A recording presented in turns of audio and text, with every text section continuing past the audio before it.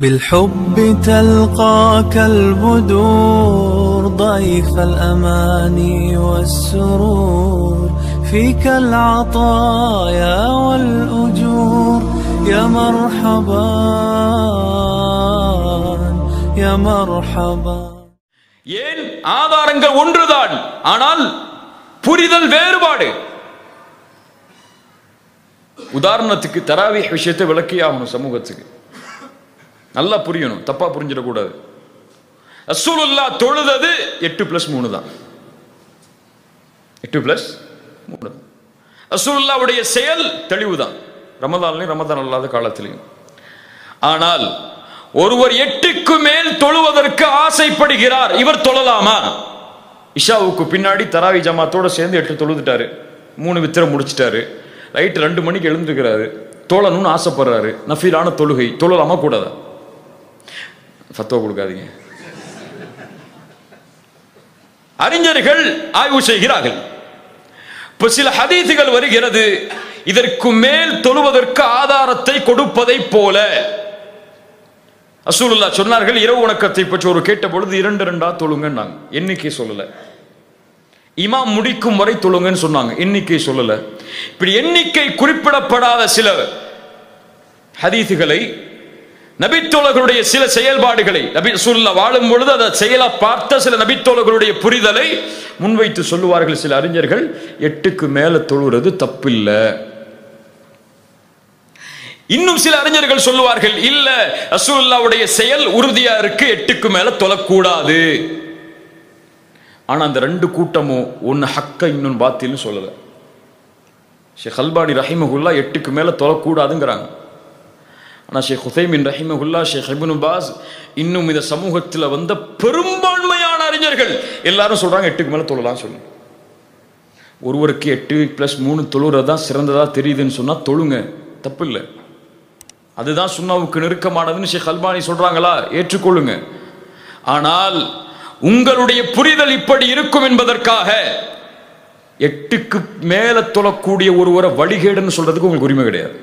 ஏன்? அந்த கருத்து வந்தது ஹதீஸில் இருந்து ஹதீஸ் இல்லாம இல்லை. அந்த புரிதல் வந்தது ஆதாரங்களில் இருந்து எனக்கு அந்த ஆதாரம் இப்படி புரியலையேன்னு சொன்னா அதுவும் புரிதல் அவ்வளவுதான்.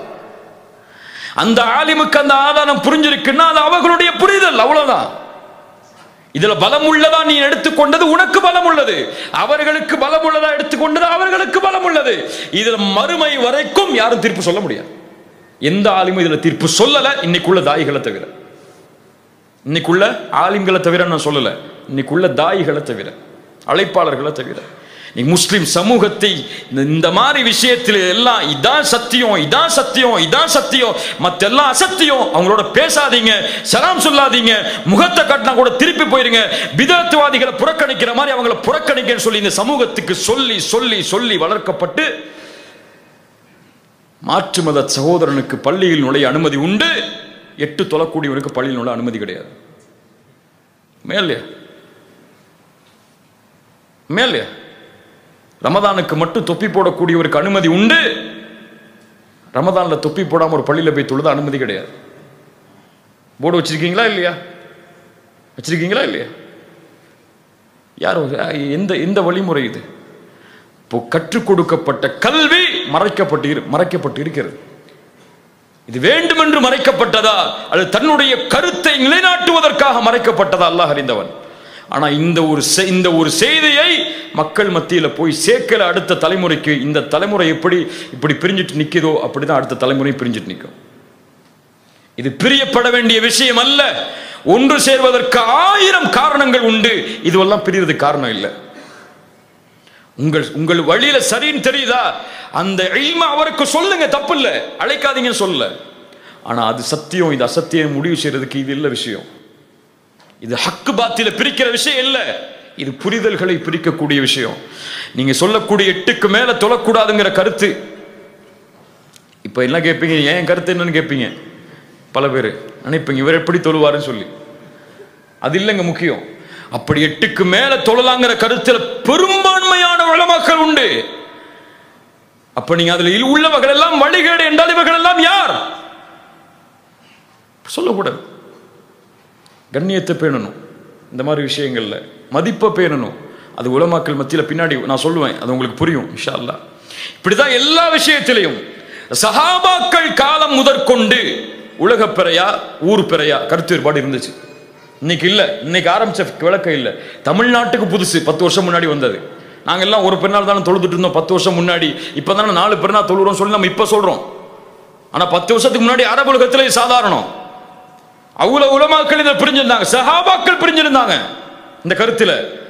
இது சத்தியம் வழிகேடுன்னு பிரிக்கலை. இதனால சமூகம் பிளந்து கிடக்குன்னு சொல்லலை. அது ஒரு புரிதலாக பார்த்தாங்க.